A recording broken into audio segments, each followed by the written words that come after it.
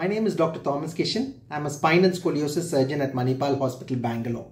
I specialize in spine surgeries in the lower back and in the cervical spine, which includes discectomy surgeries, decompression surgeries, fusion surgeries, and even scoliosis and kyphosis surgeries.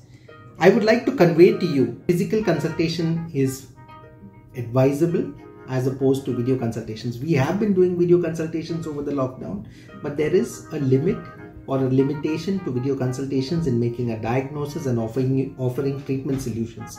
So if you have significant symptoms that relating to the spine, I would advise you to seek a physical consultation and not to ignore your primary symptoms or primary illness.